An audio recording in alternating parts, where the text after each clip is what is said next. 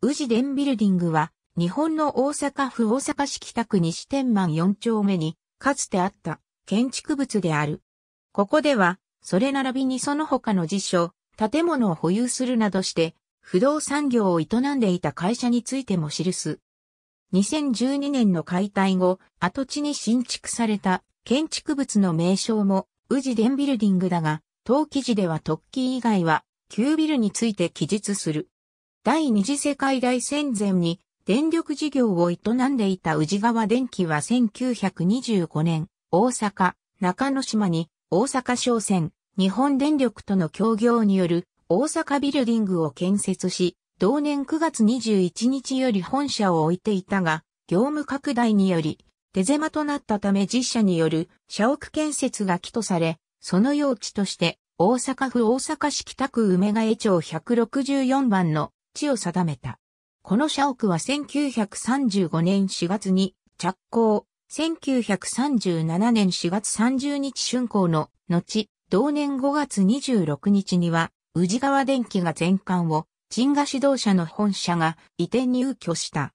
宇治川電機は国家総動員法の制定に伴う電力統合により解散することを余儀なくされたが、第二次世界大戦後の1951年5月1日からは、宇治川電機も系譜の一つとなる関西電力の本社として使用された。1960年、関電ビルディングの完成に伴い関電の本社が同ビルに移転して、以降はテナントビルとして運営されたが、老朽化のため2012年に解体された。この際、外壁に設置されていた装飾品の一部が保存されることになり、心臓レリーフは大阪市に寄贈されている。跡地には、関電不動産により、地上13階、地下1階建ての宇治電ビルディングが建築された。オフィスフロアのほか、1階には店舗区画を有している。煙突の類の配された全電化建物である。建築費用はおよそ230万円である。設計は長谷部竹越建築事務所によるものである。施工は清水組である。不動産管理会社としての宇治電ビルデイングは、宇治電ビルが着工された1935年6月15日に設立した。なお、同社は関連関連の不動産事業者の再編に伴い、2004年10月1日をもって関連不動産に再編された。